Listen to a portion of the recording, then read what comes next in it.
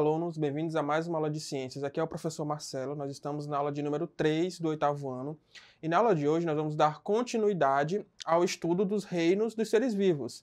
Lembra lá que na nossa última aula nós trabalhamos os três primeiros reinos, né?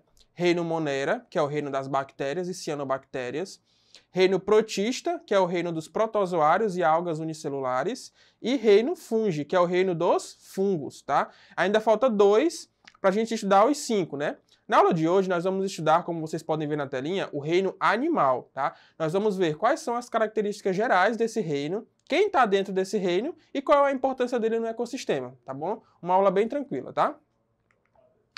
Acompanhe comigo na telinha, né? Eu trouxe mais uma vez aquela informação, né, que já foi passada na aula passada, tá? Na biologia, nós temos cinco grandes reinos, né? Nós temos cinco grandes grupos, né? Onde todos os seres vivos estão incluídos dentro de um grupo, tá?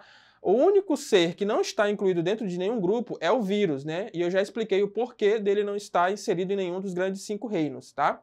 Nós estamos no reino animal, que é o reino que nós vamos estudar hoje, tá? Então, ali na telinha tem ali uma árvorezinha que representa os cinco reinos, né? Você tem o Monera, Protista, que são os reinos com organismos mais simples, tá? E depois você vai aumentando a complexidade dos seres, né? Você tem o reino Fungi, reino plantae e reino animalia, que é o reino que nós vamos estudar hoje, o reino dos animais. Você pode falar reino animalia, que é o nome em latim, reino dos animais, ou até pode aparecer em alguns livros, reino metazoa, tá? Que é um termo também biológico para animal, tá? Então, ou animalia, animal ou metazoa, tá? Mas é o reino dos animais ao qual nós estamos inseridos nele, tá?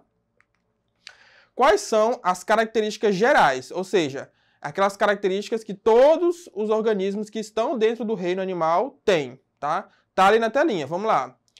Todos os animais, né, todos os seres que estão dentro do reino animal são eucariontes. Eu já falei desse conceito para vocês. Eucariontes. Quem não sabe, dá uma pesquisadinha, tá? As células dos organismos do reino animal são eucariontes, tá?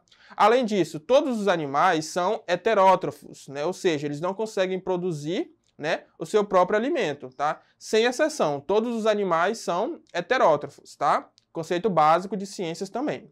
Além disso, todos os animais são pluricelulares, né? Ou seja, o seu corpo é constituído de mais de um tipo de célula, né? Milhões, bilhões de células, tá? Então são todos pluricelulares. Você não vai encontrar um animal unicelular.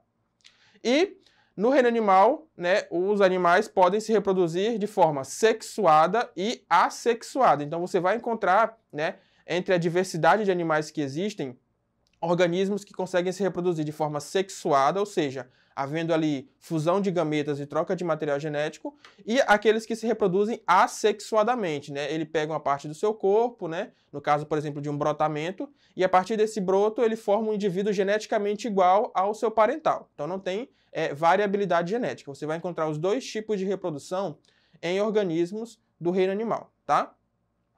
Ali na telinha fala: existem milhares de organismos nesse reino, que podem basicamente ser classificados em vertebrados e invertebrados. Gente, dentro desse reino existem milhares de espécies, tá? É impossível nós estudarmos todas. Então a gente vai para as classificações mais básicas, tá? Dentro do reino animal, que é um grupo muito grande, a gente pode dividir esse grupo em outros dois grupos menores. O grupo dos animais vertebrados e o grupo dos animais invertebrados, tá? A gente vai é, explorar essa classificação e trazer alguns exemplos para vocês, tá? Então veja na telinha, ó. nós temos de um lado os animais vertebrados, que são o quê? São os animais que possuem ossos, né? Formando uma coluna vertebral e o esqueleto. Né? Então ali como exemplo nós temos os anfíbios, nós temos as aves, nós temos os peixes, nós, nós os mamíferos, né? nós seres humanos somos animais vertebrados, nós temos um sistema ósseo, uma coluna vertebral, tá? Então isso é uma característica nossa também. E do outro lado, nós temos os animais invertebrados, né, que são animais que não possuem ossos, alguns possuem corpos moles ou estruturas rígidas externas, né? Então, quando o animal não tem um sistema interno ósseo que lhe dê sustentação, ele vai procurar outras estratégias para ter né, essa sustentação, essa proteção que o sistema ósseo dá. Tá? Alguns animais eles se adaptam a ter o corpo mole, tá? Outros já formam um esqueleto externo, né, que a gente chama de exoesqueleto, tá? Que também vai dar proteção e sustentação para ele, tá? Então, os animais que não são vertebrados são invertebrados e possuem ou corpos moles ou é, exoesqueletos, né, que são como fossem esqueletos externos, tá? Ali como exemplo, a gente tem ali, ó, é um crustáceo, né? Quando você, se você nunca é, viu né, a imagem de um crustáceo sendo é, esmagado por um carro, por uma pessoa, quando você esmaga, ele faz aquele som de crack, né? Porque você está quebrando né, o esqueleto externo que ele tem para a proteção do corpo, tá? Então ele tem um exoesqueleto, né? Ali nós estamos vendo também um molusco. O molusco ele tem uma concha. Essa concha é como se fosse um, um exoesqueleto também. Ele usa para se proteger né, de predadores. Então, os animais têm várias estratégias para é, é, pular né, essa desvantagem que é não ter um sistema ósseo, tá? Então, essa é classificação básica, tá, gente? Dentro do reino animal, nós temos animais vertebrados e invertebrados, tá? No, no, reino animal, os animais vertebrados, como eu falei mais uma vez, ó, são animais que possuem ossos, formando coluna vertebral e exoesqueleto. Esses animais vertebrados também têm outras características, tá? Como, por exemplo, simetria bilateral, né? A maioria dos animais vertebrados tem simetria bilateral. Se você fizer uma linha longitudinal dividindo o corpo desse animal ao meio, um lado tende a ser quase que idêntico ao outro. Não vai ser 100% idêntico, mas, né, tem ali uma, um percentual de similaridade muito grande. Então ele tem a simetria bilateral. Animais invertebrados geralmente não têm simetria bilateral, tá? E os animais vertebrados possuem um sistema nervoso central, né? Com ali o cérebro, com as terminações nervosas. Então também é uma característica dos animais vertebrados, tá? Como exemplo, eu coloquei para vocês, ó, peixes, anfíbios, répteis, aves e mamíferos. Todos são animais vertebrados, tá? Possuem ali uma coluna vertebral e um sistema ósseo interno, tá? Os animais invertebrados, mais uma vez, são aqueles animais que não possuem ossos, né? Ou possuem corpos moles ou estruturas rígidas externas. São bastante diversificados e apresentam as mais variadas formas e adaptações aos diferentes ambientes. Compreendem aproximadamente 95% das espécies de animais conhecidas. Ou seja, a maioria dos animais que nós conhecemos hoje são invertebrados, só uma pequena porção que são vertebrados, né? Isso é uma característica interessante. Nós temos mais animais invertebrados né, no, no planeta Terra do que animais vertebrados, tá? E ali do lado eu coloquei para vocês alguns exemplos, né? Vocês têm ali alguns insetos, você tem ali alguns crustáceos, tá? Você tem ali é, animais de corpo mole, como as minhocas, os anelídeos, tá? Então, a maioria dos animais que nós temos contato no dia a dia são animais invertebrados, tá? E ali uma curiosidade, tá, gente? Alguns animais, por é, características externas, né, morfológicas, eles podem ser é, confundidos com plantas, né? Um exemplo que está na telinha para vocês é a esponja do mar, né? O nosso querido Bob Esponja. Aquele desenho Bob Esponja que todo mundo já assistiu ou assiste, tá? O Bob Esponja, ele é uma animação de um animal que realmente existe, que é a esponja do mar, tá? Só que ali ele está de forma animada, né, para chamar atenção, obviamente. Então, o Bob Esponja é uma esponja do mar.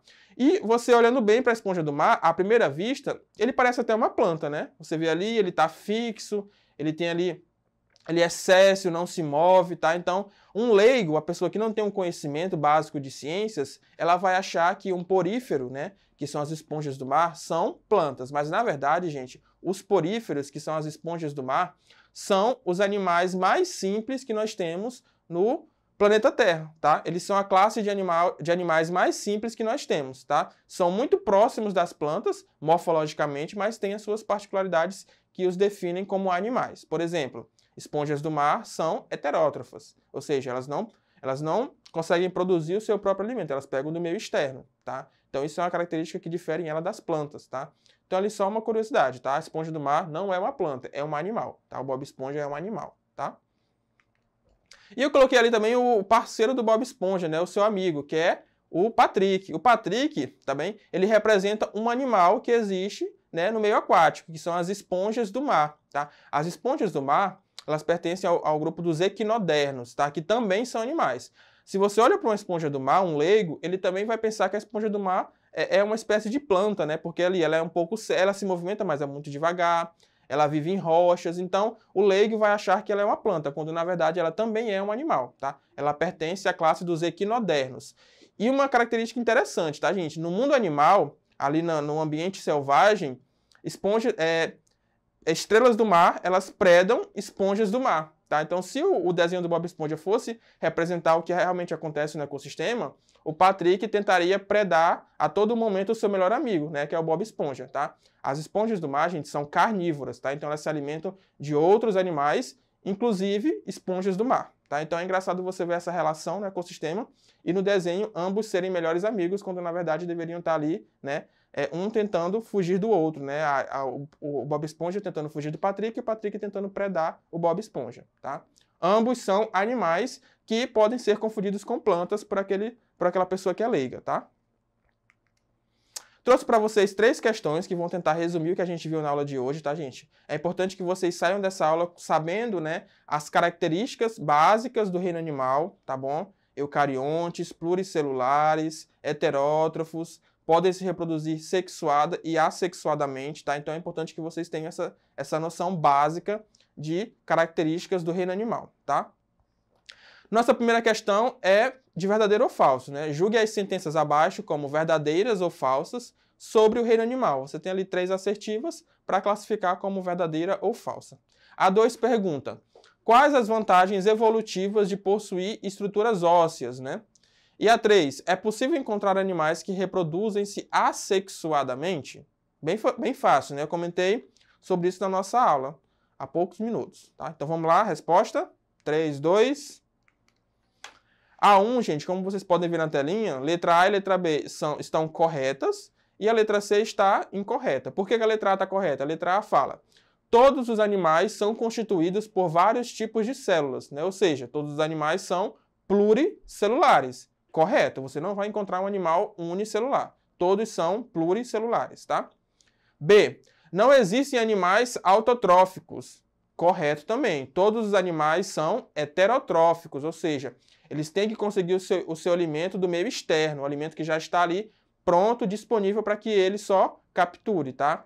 É, é, organismos autotróficos geralmente são plantas, tá? Animais sempre serão heterotróficos, tá? Letra C, por que a letra C está errada?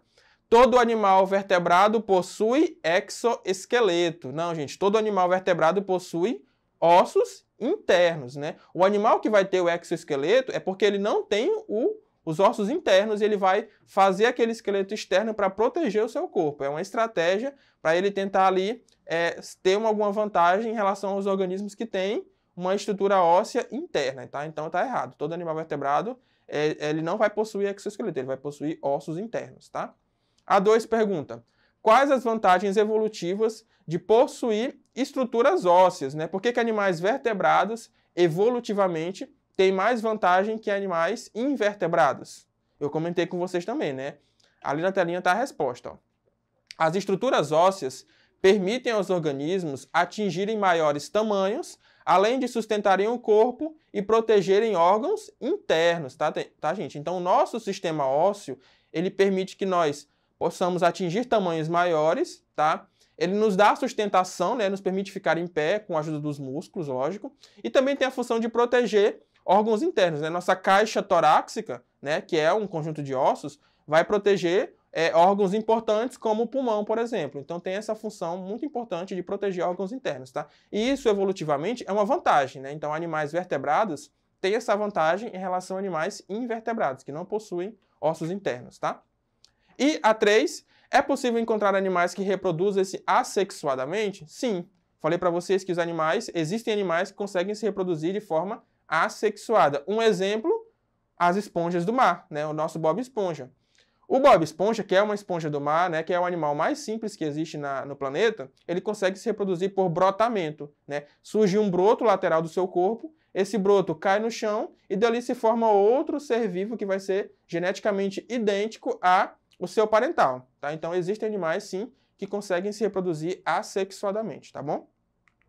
Então é isso, ficamos por aqui. Espero que vocês tenham compreendido aí né, a mensagem principal da nossa aula, tá bom? Essa aula fica, fica disponível na plataforma Eduque para que vocês é, possam ter acesso quando acharem necessário. Desejo bons estudos e até a próxima.